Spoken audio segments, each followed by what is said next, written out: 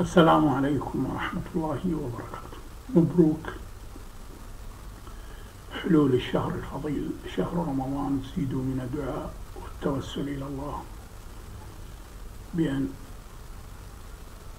ينعم على عباده بانتهاء مشكلة الكورونا حول العالم وليس فقط لأنفسنا وإنما لكل البشرية. ثلاث مرات استلم استبيان وبيان رأي في أطاريح للدكتوراه ثلاث مرات. خلال شهر يعني. وأنا بين محرج أقول الحقيقة ما أقول لأن دائما العربي يزعل من الحقيقة ما يريد الحقيقة. يريدك وياه حتى لو قال لك راح أقتل واحد يقول له إيه ممتاز روح اقتل. الله يقبل.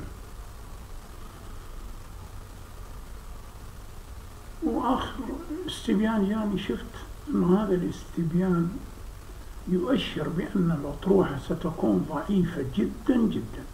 أطروحة دكتوراه ليست تقرير بكالوريوس صفراء تربية رياضية بكالوريوس. أطروحة دكتوراه تعني الكثير تعني أن تكون رصنة موزونة تستحدث إجابات عن أسئلة تظهر كل يوم في الفعالية سواء في التدريب أو في اللعب أو في التسويق أو أو الإدارة أو أو أو.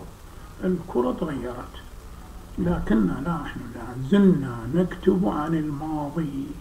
كرة الماضي هي غير كرة اليوم. وكل الألعاب الرياضية فرقية وغير فرقية دخل عليها تطوير هائل فأرسل لي رسالة دكتور. يعني أنا طموح بتواضعك وكذا بس ما جبت مسخرة 15 يوم. فكتبت له قلت هل تريد الحقيقة؟ أنا ما أجبتك لأن الاستبيان يعني وصلني مسبقا إلى نتيجة بأن الأطروحة ستكون ضعيفة. ما أحب أن تكون هناك أطروحة دكتوراه تبحث في ثلاث نقاط. بسيطة جدا معروفة يعني.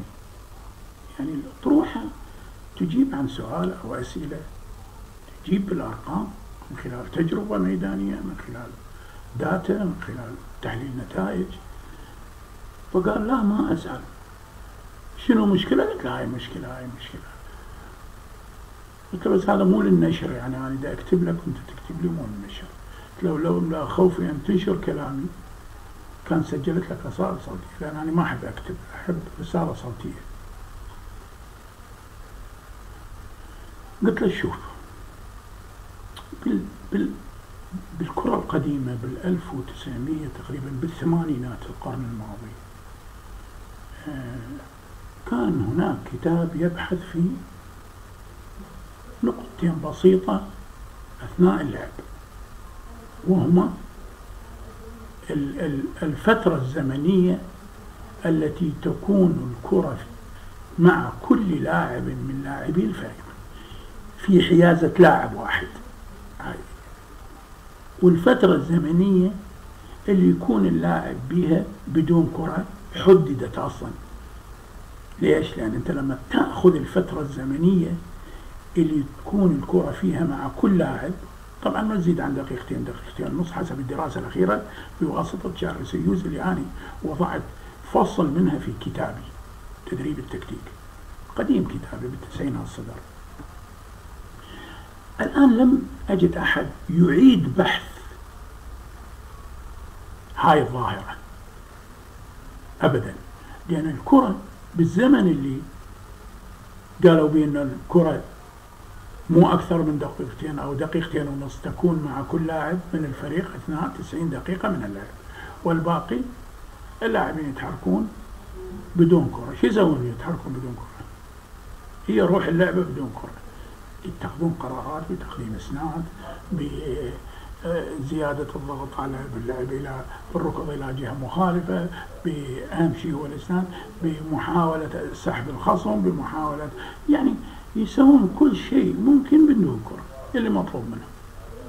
لم أجد باحث تطرق إلى هذا الموضوع وأحيا الدراسة السابقة التي لو قرأت بدقة لوجدها القارئ من أحسن الدراسات بالعالم اللي هي بيها من ضمنها كيف تسجل الأهداف بعد ثلاث مناولات أو أقل؟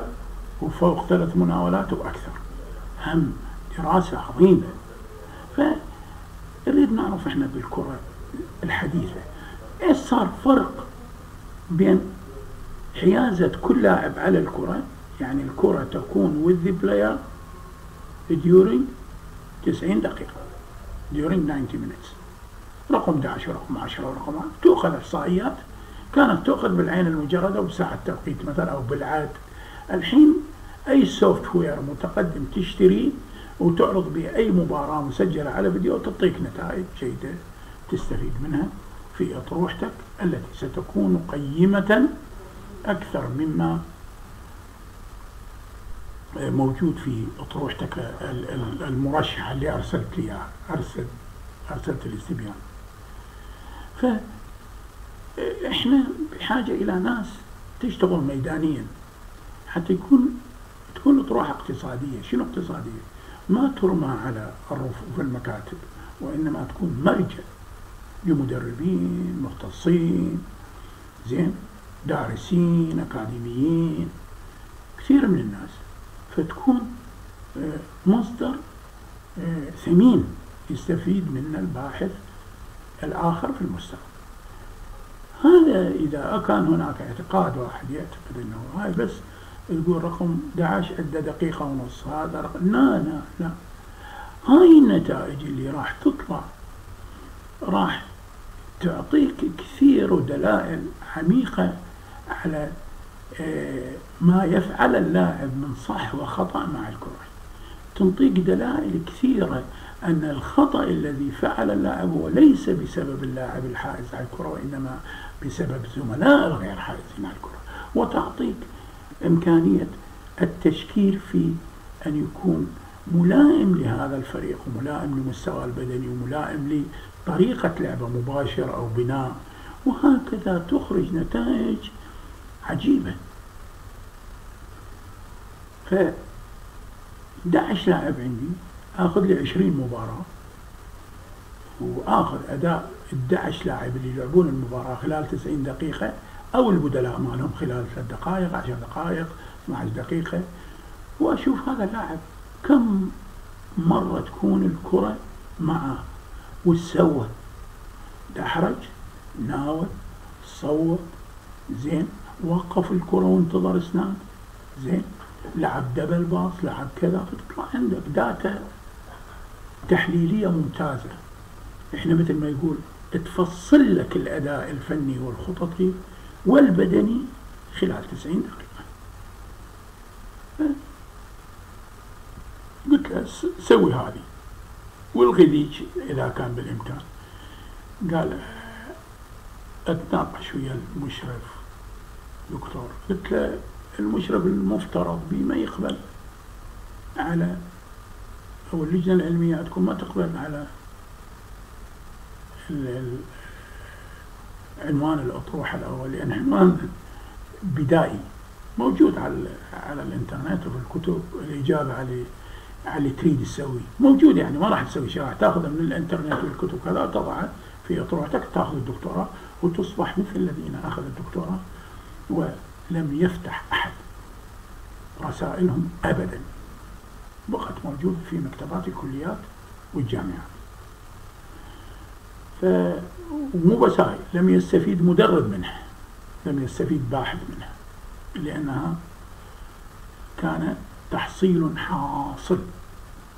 فحتى تعطي قيمة لدرجة الدكتوراه ودرجة الدكتوراه تعطيك أنت كشخصية قيمة ابحث في موضوع مهم بحث سابقا قبل 30 سنة أو أكثر والآن أنت تريد تعيد تبحث به تشوف هل صحيح أنه هناك تطور في كرة القدم؟ التطور يربطه بنقطتين هو زيادة السرعة لا أقصد بها سرعة اللعب وأنا سرعة الركوب وإنما سرعة الفعاليات فنية وخططية وذهنية وبدنية. هل التطور هذا والحداثة في كرة القدم أثرت في زمن حيازة الكرة لكل لاعب من الفريق خلال 90 دقيقة؟ توكل على الله. كان فرحا واستبشر خيرا. وأرجو أن يستبشر المشرف خيرا معه أنا أضع تمارين أركز عليها هاي الأيام كثير لأن فترة الكورونا الظاهر ما راح تنتهي فنحتاج إلى مادة. فأظهر الكرة لأن كل شيء بدني يتعلق بالكرة خلال المباراة. فأنت أكو لاعب عندك وأكو بقية لاعبين ما عندهم لكن مؤهلين لأن تجيهم الكرة بعد أن ينفذون مجموعة من الفعاليات البدنية داخل ساعة ركض سريع آه، ركض للخلف ركض للأمام قفز على كرة مشتركة آه، انطلاق سريع لجهة اليمين. مثلا هاي الحركات اللي يسويها لاعب كرة القدم. زين يستلم الكرة ويدحرج سريع. زين يدحرج من خلال لاعبين أو يركض من كرة خلال فراغ وهكذا. فأنا أستبشر خيرا بأي مدرب من مدربي اللياقة البدنية. اللي أو المدرب الأساسي اللي يطلب من مدرب اللياقة البدنية يقول يومين لك بالأسبوع تسوي له تدريبك اللياقة البدنية مع الكرات. أوه ممتاز. يومين بس. لأن تدريب اللياقة البدنية في كل لعبة بدون كرات مهم جدا جدا جدا جدا. لا يؤخذ علي كلامي إنه أنا بس أركز على تدريب اللياقة البدنية مع الكرات. لا لا مرتين بالاسبوع وإذا مره لا بأس جيد. هذا. واحد. فأنا عندي مجموعتين من اللاعبين وأمامهم أدوات رياضية. هاي 20 في 20 يارد مو أكثر. يبدي اللاعب رقم ثلاثة. يبدي على الموانع الواطية جدا بالركض السريع ركض سريع. يعني أجبر الرجلين على رفع الركبة آه، أكثر مما في الركض على سطح مستقيم. فبم بم بم بم ركض سريع. زين؟ عند الانتهاء يلعب مع المدرب المدرب يعطي كرة يرتها للمدرب ثم ينتقل إلى الركض المتعرج على الأقمع تاك تاك تاك تاك سريع. ثم يدخل على المدرب الثاني. المدرب يعطي كرة المدرب الثاني يرد له الكرة إذا مناولة بين المدرب الأول ورقم ثلاثة بعد الانتهاء من الموانع ثم مناولة من المدرب الثاني إلى اللاعب رقم ثلاثة بعد الانتهاء من ركض التعرج آه، على الأقماع ثم الانطلاق لتصويب كرة. من أين تأتي الكرة؟ تأتي الكرة من زميل بالمجموعة. شوفه رقم أربعة. هو يهيئ الكرة عشان رقم ثلاثة يصوب ويروح خلف المجموعة المعاكسة. يكون أربعة هنا من دون كرة يتهيئ للعمل البدني لأن ما يحتاج كرة. من هناك اثنين بدون كرة. لازم يبدأ حال ما أربعة يهيئ كرة إلى ثلاثة على الهدف الكبير. يكون اثنين بدأ السلالم ومناولة مع المدرب الأول الركض على الحلق ومناولة مع المدرب رقم اثنين ثم باتجاه الهدف لتصويب الكرة التي يلعبها له رقم خمسة. لأن خمسة راح يبدي بعد ما محتاج إلى كرة. فخلص اثنين بدأ من هناك أربعة. خلص أربعة بدأ من هنا خمسة وهكذا واللي يخلص من هاي المجموعة اللي على يسار الهدف من يخلص يروح على يمين الهدف واللي على يمين الهدف من يخلص التصوير يروح على يسار الهدف. زين؟ كل لاعب من اللاعبين يأدي له ثمان مرات يكفي. يكفي ثمان مرات. دير بالك 20 يارد في 20 سريع دقة بالمناولة وأحسن شيء درب المناولة من الحركة. يعطيني المدرب one touch quality يعطيني المدرب الثاني. قم one touch quality يعطيني زميلي المجهز من جنب الهدف. قم finishing مو shooting بس. finishing ما أريد shooting خارج الهدف. ولا اعلى من الهدف. ولا تصوب الكرة على اللاعبين. صوب الكرة داخل الهدف. هاي فكرة واضحة عما يعرف التدريب المدمج اللي يسموه بالمغرب العربي. إحنا اللي أنا أسميه soccer specific conditioning لو شلت الكرات الآن رفعتهم من من الصورة ورفعت الهدف والحارس ونفذوا اللاعبين هذا التمرين. إنه اللاعب رقم ثلاثة يبدأ على الموانع ثم يروح وين؟ على الأقماع ثم يهرول للجهة الأخرى. آه، يكون اللاعب ذاك اثنين بدأ على السلالم وبدأ على الحلق. يبدلون يرجعون اثنين يرجع مكان ثلاثة وثلاثة يرجع مكان اثنين. من خلال العمل على الأدوات. فثلاثة يروح يعمل على الحلق ثم على السلالم ثم يروح خلف المجموعة مال خمسة. هذا اثنين اللي بدأ منه. بعدين يخلص على السلالم بعدين يخلص على الحلق. يروح يهرول على يسوي ضمن التعرج. على الأقمار ويسوي الركض السريع على الموانع أو ركض آخر أو إذا تريد قفز إذا الموانع جدا واطية ما يحتاج إلى باور عالي. وهكذا تدريب بدني بدون كرة. غير مرفوض وإنما ممتاز. يمكن أن تزيد عدد الأدوات المساعدة في التدريب ممكن أن تزيد نوع الحركة تغيرها هاي راجع لك.